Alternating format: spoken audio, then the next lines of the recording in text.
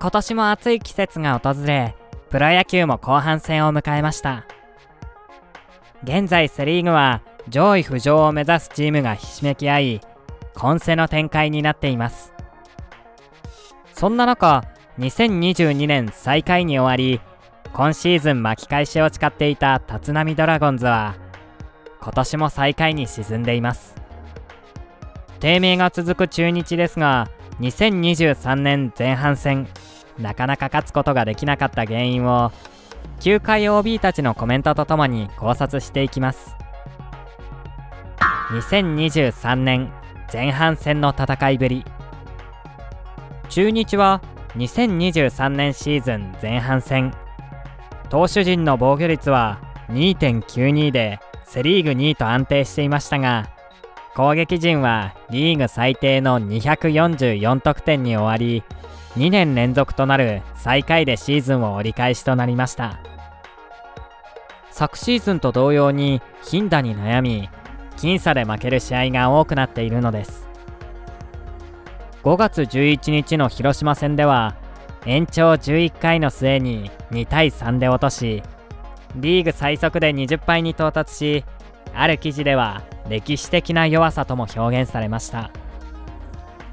2021年の就任会見で立浪監督は打てないと言われましたけれども必ず何とかします。と大見えを切ったが2年目も一向に改善される気配は見えてこず5月12日付の中日スポーツの名物コラムで光はない。上昇する材料も尽きた。と痛烈な批判もされています。また開幕前に立浪監督は若手にチャンスを与えたのは去年まで。今年は勝てる選手を使う。と決意を語っていました。しかしシーズンに入るとベテラン中堅そして新たな外国人選手。いずれも調子が上がらず打線は機能しない状況に。その中でも特に助っ人外国人は大誤算でダヤン・ビシエドは2度抹消されるなど打率は2割前半。大砲候補として期待された MLB41 発のアリスティデス・アキーノ選手は20試合で打率1割5分4厘。1本塁打68打席で32三振の参上ソイロ・アルモンテ選手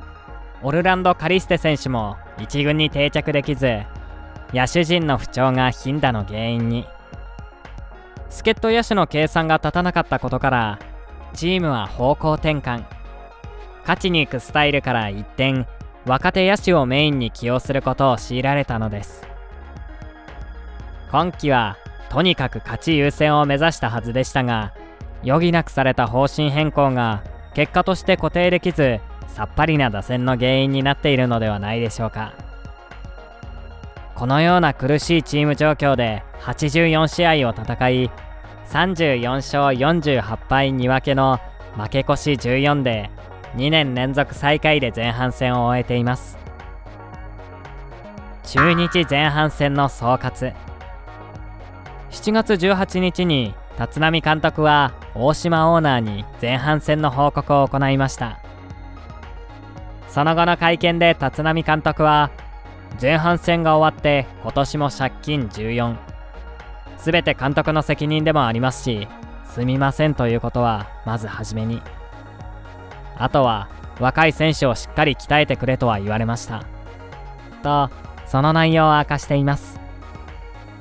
首位阪神に12.5ゲーム差をつけられ苦戦が続いた前半戦。立浪監督は開幕してずっとなかなか点が取れずに先発ピッチャーの足を引っ張ることが多かった。また守備のミスも多く取れるアウトを取れなかった。とチームの課題を語りましたが野手は石川昂弥選手龍空選手ら若手がポジションをつかみつつあります。そんなチームについて立浪監督は責任は何かというのは自分から辞めるか。ただ自分の場合はここまでやってきた中で放り出すわけにもいかないんで与えられた任期でチームを変えていく強くするという目標でやっていますんでその辺はオーナーも理解してくださっていると思う。と、チームを変革していくと意気込みました。会見後、大島オーナーも、2年連続で最下位で折り返すという結果に、現場の苦労を感じています。故障者の続出、期待していた選手の調子がなかなか向上しないということもあって、厳しいやりくりが続いていますが、立浪監督をはじめチーム全体で後半巻き返すための要素をしっかり洗い出し強みを生かしつつ弱みを克服して一戦一戦を勝ち切ってもらわなければなりません。と厳しいチーム状況についてコメントを発表。続けて立浪体制を引き続きサポートする姿勢を明かしつつも成績が低迷しているにもかかわらず連日たくさんのお客様に観戦いただいています。声援も解禁され選手を後押ししていただいています。この熱気がため息に変わらないよう選手には発奮し勝負どころで負けない熱い戦いを繰り広げてもらいたいと思います。と昨季より6試合早い36試合目で主催試合の観客数が100万人を突破したことに触れた上でチームに奮起を求めました。3年契約を結んでいるとされる立浪監督。長期スパンでのチーム作りを託されているのかオーナーからは比較的優しいコメントを送られています。その上で後半戦に向けて立浪監督はとにかく今は必死になって勝ちに向かって戦っていくことが大事だ。その中でいい結果が出たりうまくいかないことはある。今出ている選手を一人前にできるようにこちらとしても必死になって一緒にやっていきたい。勝負の世界は結果が全てなので勝ちに対して貪欲に必死になっている姿をファンに見せたい。と後半戦での巻き返しに意欲も示しています。大物 OB たちの中日に対する提案。巨人の OB の江川卓氏はプロ野球前半戦を総括。江川氏は中日の成績不振の原因について指摘しました。これはも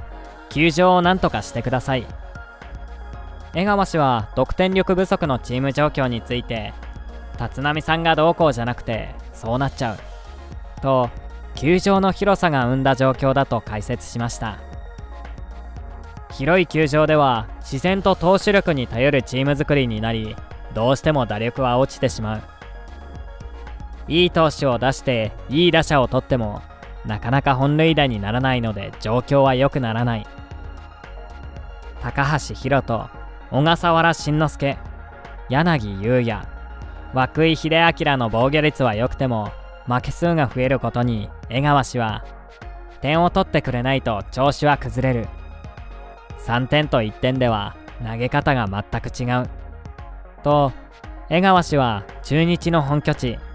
バンテリンドームが広いことで、得点力不足だけでなく、チーム編成にも影響が出ていることを指摘しています。この解決策として、昨今各方面で話題に上がることも多い PayPay ドームや ZOZO マリンスタジアムが導入したようなホームランゾーンの増設を江川氏は提案しました。一方で中日 OB で監督を務め黄金期を作り上げた実績のある落合博満氏はファンからの質問コーナーでドラファンですがどうしてドラゴンズは生え抜きの大砲選手がなかなか出てこないのか聞きたいです名古屋ドームの広さはよく理由にされますがそれなら球場を狭くすれば育つものなのでしょうか。と聞かれると読み終え少しだけ間を置いてこれはねなかなかアマチュアでもホームランバッターっていうのは少ないんです。と語り出します。続けてチームの方針もあるんでしょうけどもドラフトで取ってくる選手は近年見てるとなかなか大物を打つような選手を取ってきてるっていうのはありません。だいたい小粒で足が速くて機敏性のあるような選手を主体的に取ってるんで。と中日のドラフト戦略に言及加えてそれと野球のスタイルが守って打って走ってっていうようなことを求めるんでね。長距離バッターでも守れなくてもいいやっていうような選手はなかなか取りづらいっていうようなこともあるでしょう。と補足しています。それと名古屋ドームを狭くすれば育つのかっていうけども相手に打たれることを考えないで球場を狭くするっていうのは勝てるゲームも勝てなくなるんでね。球場に合ったような野球スタイルをするっていうことが大事なんだろうと思うしそのために外国人選手でホームランを打てるバッターをなぜ連れてこないのかっていうのが一番のホームランが少ないっていう原因なんだろうと思います。と球場を狭くして相手のホームランの確率も上げてしまうリスクよりも戦略的に外国からパワーヒッターを獲得した方が球場に合った戦い方で勝てるチームを作ることができると分析し江川氏の意見とは正反対の意見となりました最後になかなか日本人の中での大砲っていうのは育てづらいっていうことがあるんでね。それを解消するためには日本人選手よりも外国人でパワーのあるホームランバッターを連れてくるっていうのが先ではないのかなと思います。と落合氏は野手育成についての持論を語っています。落合が語るセ・リーグ後半戦の展望。低迷する中日について和製大砲を育成するよりも球場に合った戦い方をするべきと提言した落合氏ですがあるテレビ番組ではセ・リーグの優勝争いについて言及しました。落合氏は7月23日の午前中の時点で昨季王者ヤクルトは5位で首位阪神との10ゲーム差。これについてまだ射程内でしょう。ヤクルトまでの5球団で優勝争いするというところじゃないでしょうか。とこれからのセ・リーグについて分析。最下位中日は首位と12.5ゲーム差。ヤクルトとは僅差だが村上みたいな核がいない。中心になる選手がいないのでちょっときついかなとは思う。と軸となる選手の不在から上位に食い込むのは難しいと話しています。この落合氏の厳しいコメントには中日内外で反発する声が噴出したようである中日関係者はうちにだって細川石川昂弥とちゃんと2人も核はいる。ホームランも村上は17本だけど細川は12本。高谷は10本打っているしこの先2人には伸びしろしかない。8年間も中日の監督を務めていたのにうちだけ蚊帳の外みたいな言い方をしてもっと中日に愛情を持った発言をしてくれてもいいのにと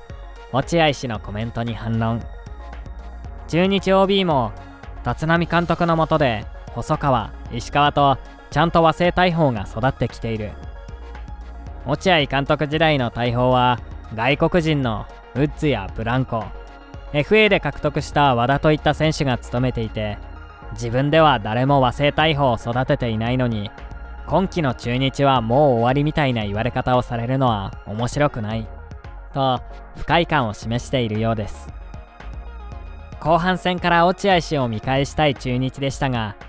後半戦のスタートでもつまずき広島との2連戦そして d n a との初戦を落としオールスターを挟み4連敗を喫してしまいました。落合氏の展望通り後半戦も苦しい戦いは続いてしまうのでしょうか。しかしトレードで加入した宇佐美慎吾選手や川越誠司選手など新しい顔ぶれが存在感を見せており